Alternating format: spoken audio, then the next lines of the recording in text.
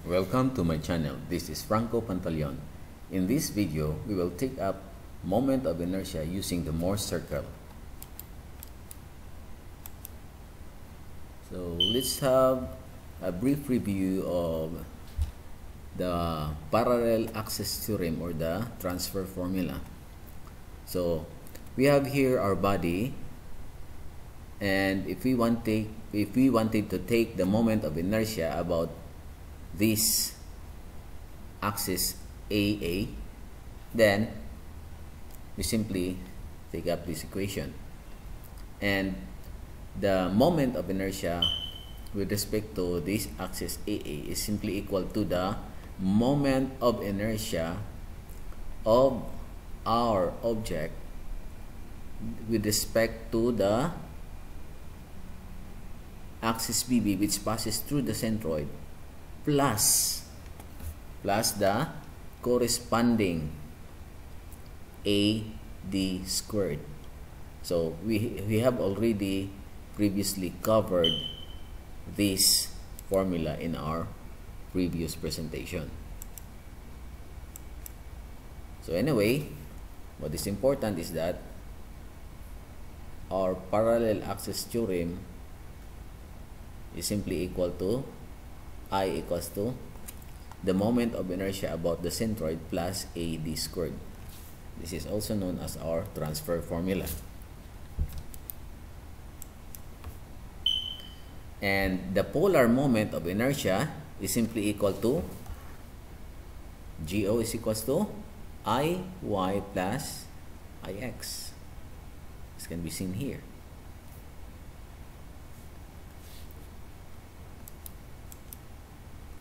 Now, one another very important concept is the what we call the radius of gyration of an area.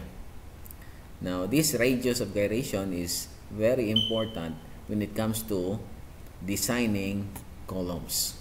So, if if we need to consider an area with moment of inertia Ix, imagine that the area is concentrated in a thin strip parallel to the x-axis with equivalent Ix. So, our Ix is equals to Kx squared times A. Now, if you wanted to take K to determine K, then we have this equation. And this equation is known as the radius of gyration with respect to the x-axis. Now, similarly, if we wanted to take the radius of gyration with respect to the y-axis, then we can have this formula. We have the square root of iy over a. And if we wanted to determine the polar moment of inertia, then we can have this equation. Likewise, our KO is simply equal to this equation. So this is just uh, simple uh, review. Okay, next. Now, when we wanted to determine the product of inertia, then it is given by this equation. Now take note that when we take the moment, the product of inertia with respect to this x-axis, which is the axis of symmetry, the product of inertia is zero. So if we have here, if you notice, we have y, xy times the a, in this case positive because this is a positive value for y.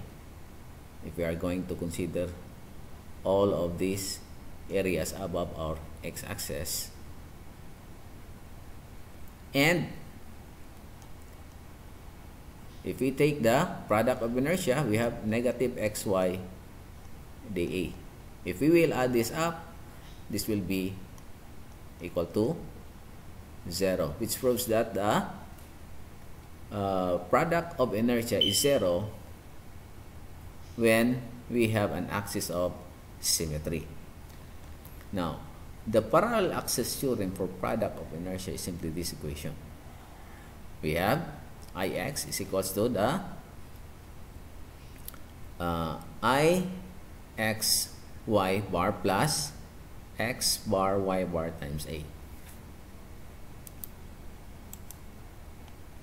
Now, we have here the derivation of some important formulas for determining the principal moments of inertia. So, we'll only focus on this equation here.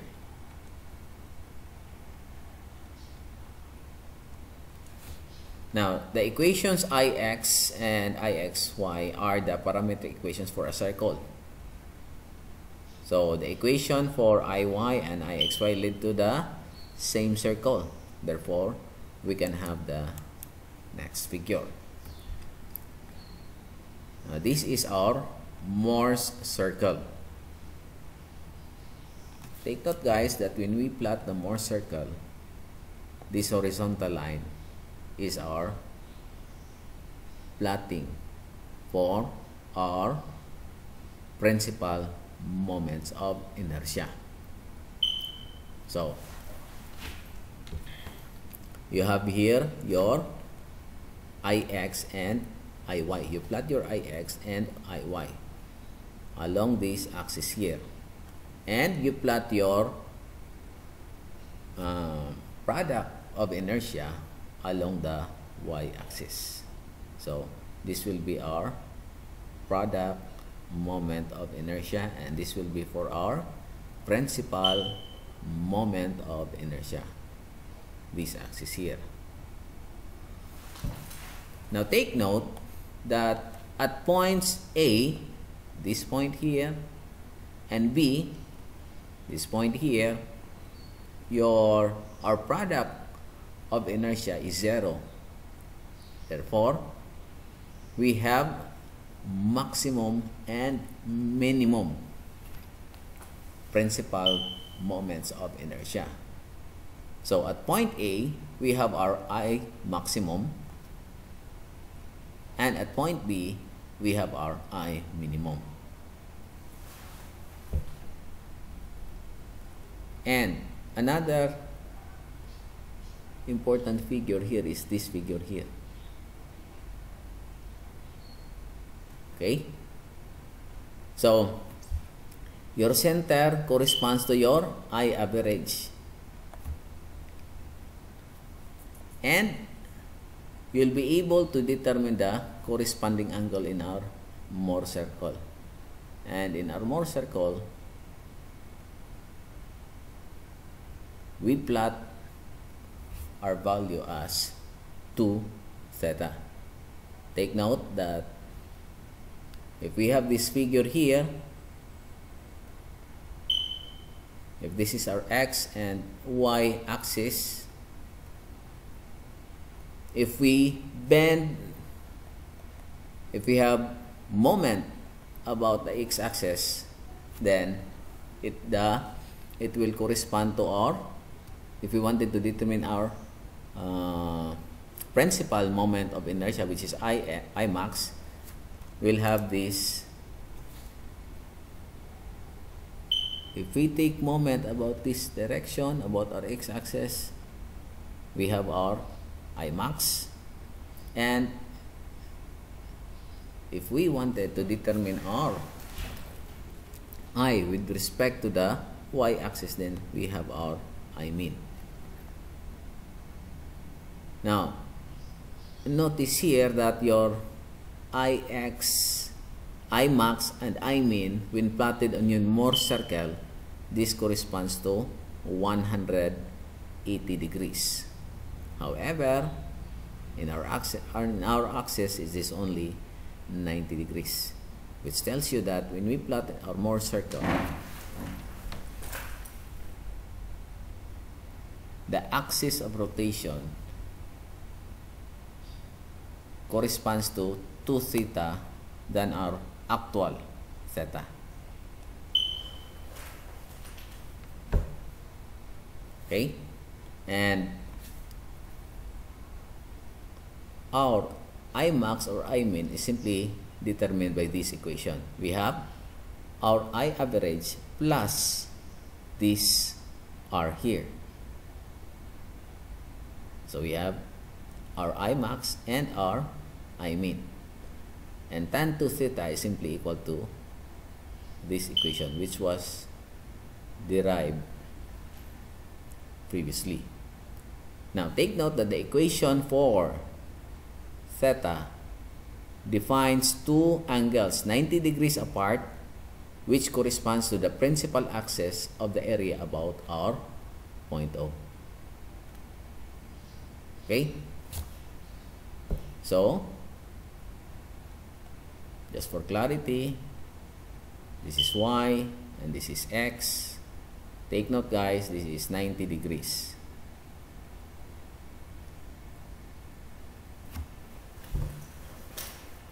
And when we plot that in our Mohr circle, our x and y corresponds to 180 degrees which is twice than the which is twice this principal axis which is only 90 degrees.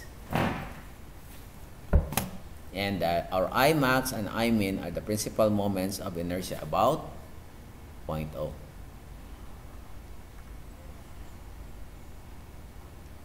okay? So we have shown here some sample table wherein the moment of inertia and the radius of gyration is useful. This information would be useful when designing columns or beams. Normally, this concept of moments of inertia is very useful when it comes to steel design and concrete design and others. Okay, so we have here. For the section shown, the moments of inertia with respect to the x and y axis are Ix equals to 10.38 and Iy equals to 6.97. Determine the orientation of the principal axis of the section about point about O and B the values of the principal moments of inertia about O. So our solution would be 1 we compute the product of inertia with respect to the x, y axis by dividing the section into three rectangles and applying the parallel axis theorem to each. So in this case, we have this corresponding. This figure would be our figure 1. Rectangle number 1. And this would be our rectangle number 2. And this would be our rectangle number 3.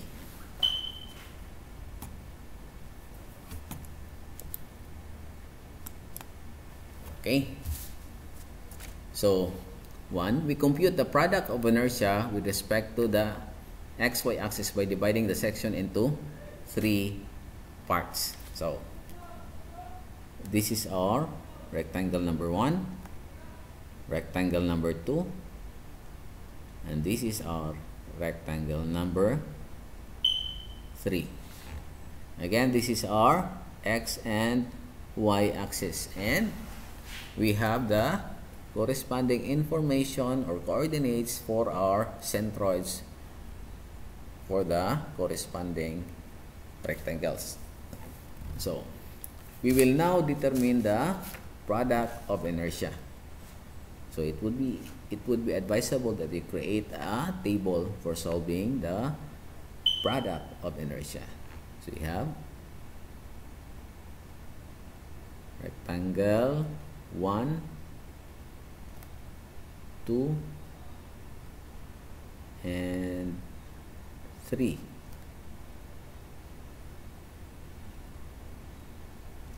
And the area in terms of square inches. And the distance of the centroid for the figure considered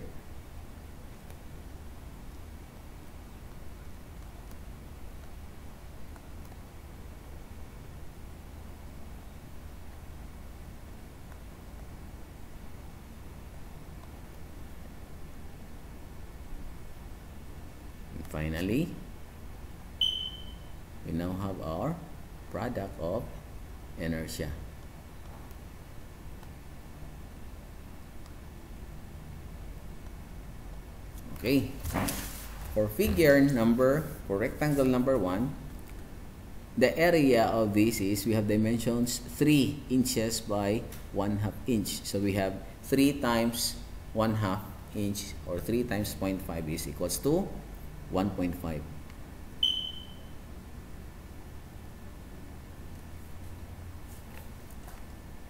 Now, for figure number 2, these have a total height of we have 4 minus 1 half minus 1 half which is 3 inches. 3 inches times 1 half inch we have again the area is 1.5 and for figure 3 rectangle number 3 is similar to this area here we have area is 1.5 now with respect to our uh, the distances for the centroid with respect to our x and y axis. We have for figure 1 which is to the left. So this is our point of reference here. So this should be our x distance should be negative 1.25. And the distance, the y distance is positive 1.75.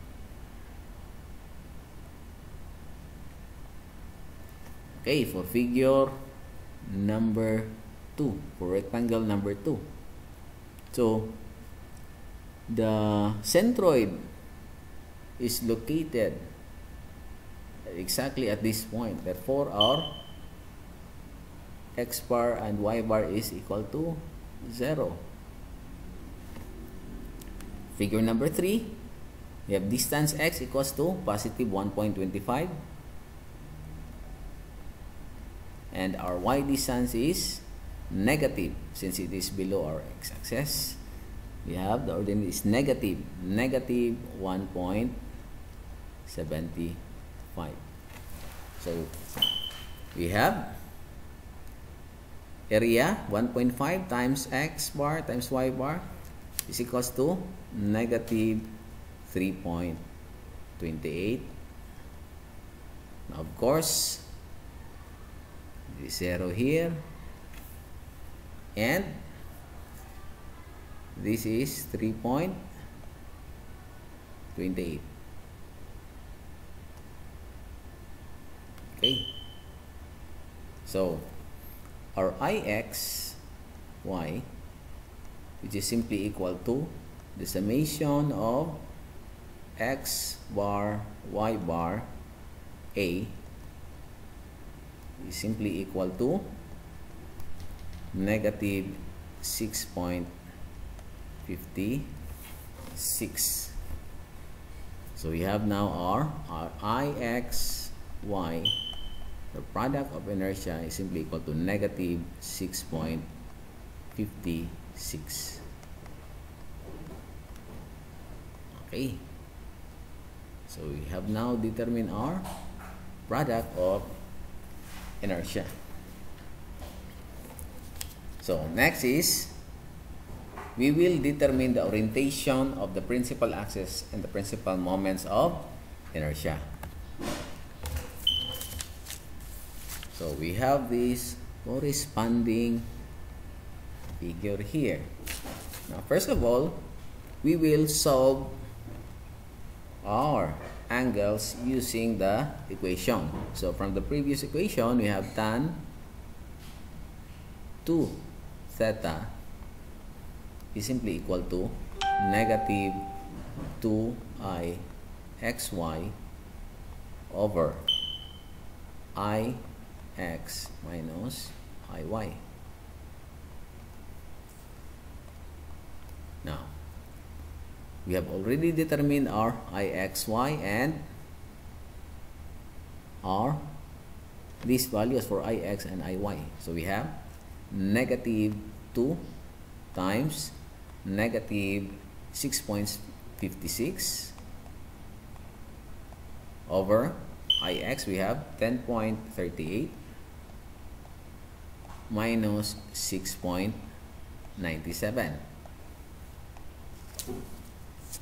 which give us a value 2 theta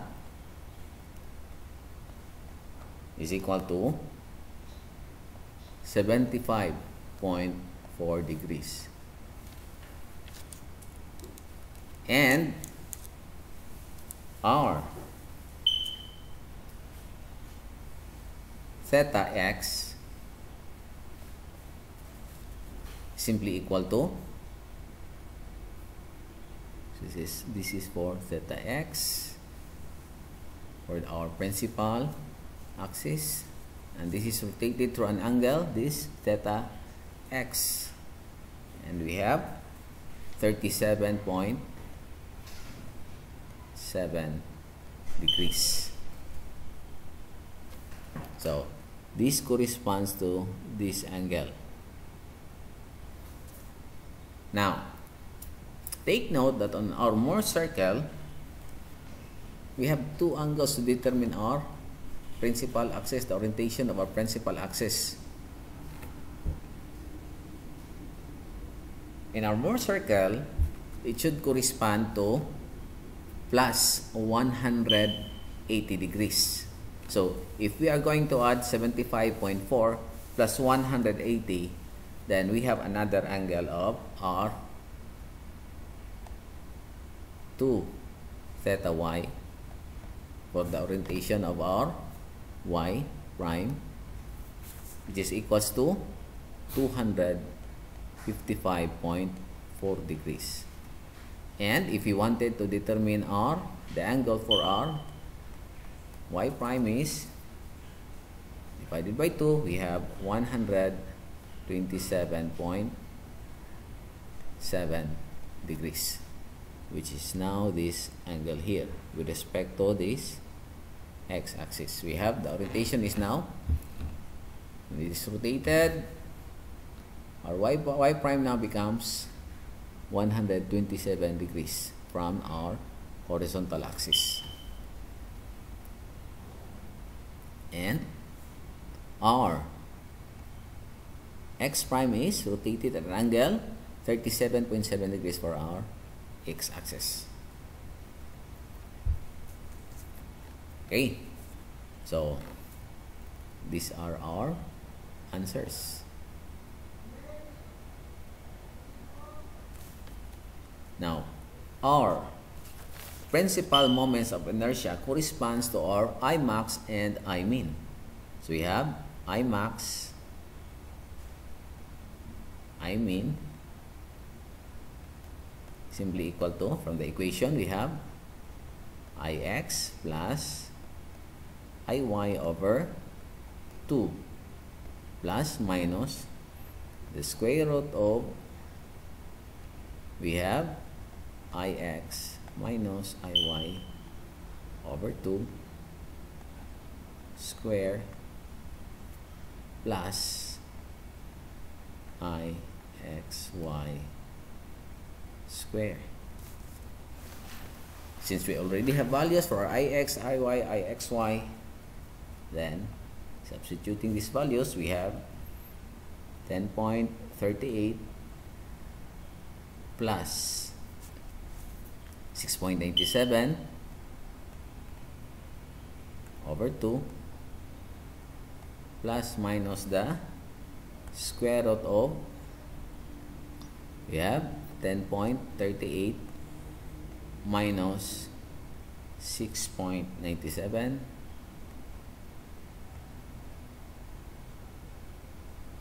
over 2 square plus we have negative 6.56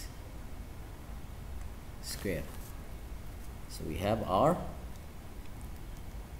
i max this value plus this value simply equal to our 15.45 and our I mean is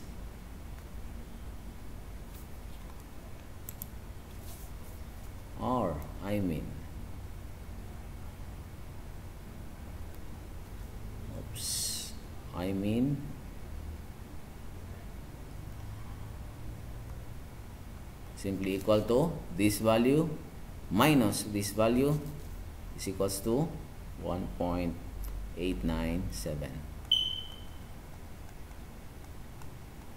these are our answers.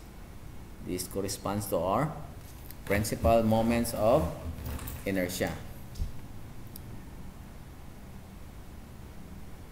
Our moment of inertia about ix prime and our moment of inertia about our iy prime which is now rotated at these angles.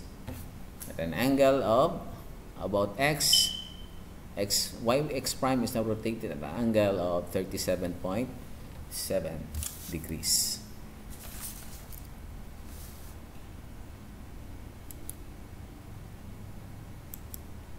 Now take note that we have solved for our uh, orientation of the principal axis as well as the principal moments of inertia using the equation. Now, this time, we will solve the same problem using the Mohr circle. So, we were given the corresponding values. Ix is simply equal to 10.38. Iy is 6.97 and our product of inertia is negative 6.56.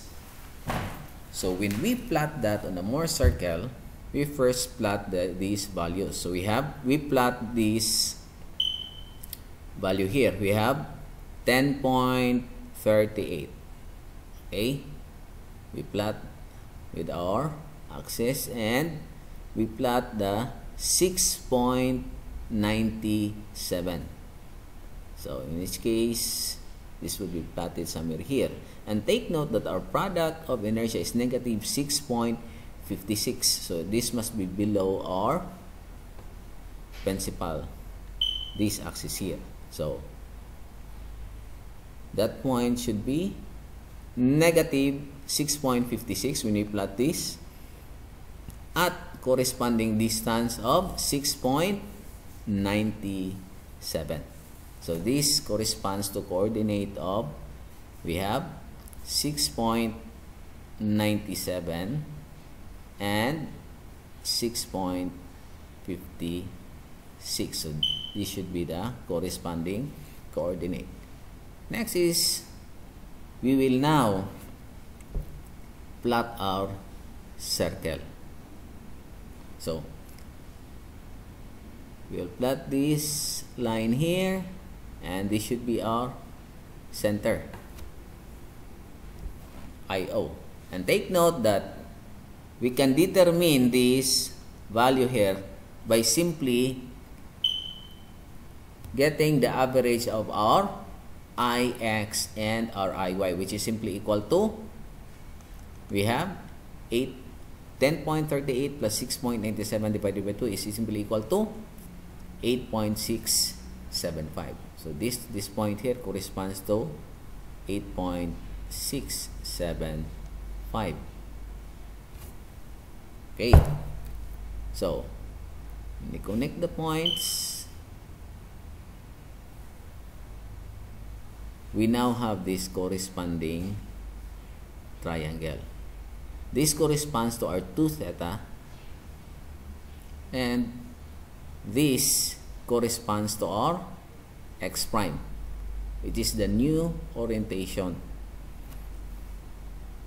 and our y prime is simply equal to this point here. And take note that in our original figure, the orientation of our y prime with respect to this axis here should be 90 degrees. In our Mohr circle, 90 times 2, we have 180 degrees. Now, based on this figure, this is now our triangle and we have here similar triangle so this corresponds to this side here corresponds to 6.56 and this corresponds to 1.7 705. So we have this 10.38 minus 6.97 divided by 2 we have 1.705. Now we can now determine our 2 theta. So we have from the Mohr circle diagram we have from the triangle we have tan 2 theta is equal to 6.56 divided by 1.705 so we have our 2 theta.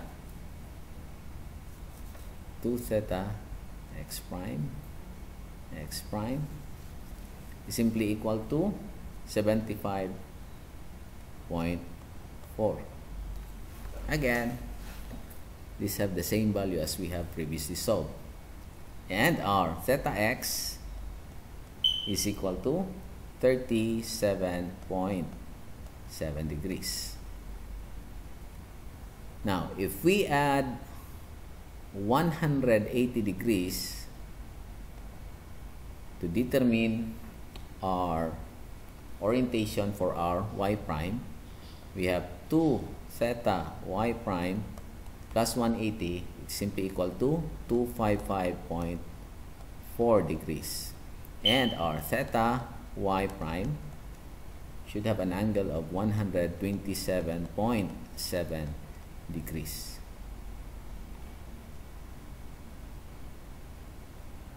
Notice that we only solve these values here for an angle of orientation using the Mohr's circle now we wanted to determine our Imax and our Imin. So, our Imax based on the Mohr circle is simply equal to this point here plus the corresponding radius here. And take note guys that this side, so we have we have 6.56 square plus 1.705 square. You take the square root of that so that you'll be able to determine it is simply equal this expression simply equal to 6.778 so our r is simply equal to 6.778 so you have 8.675 plus this whole r here. You have uh, i max equal to 8.675 plus R R which is simply equal to 8.675 plus we have 6.778 and our Imax is equal to 15.45 and our Imin is simply equal to this minus this R since we already have determined our R. So our Imax, we will plot our Imax first. Our Imax is equals to 15.45 and our Imin this is our Imin simply equal to 8.675 minus 6.778 and our Imin is equal to 1.897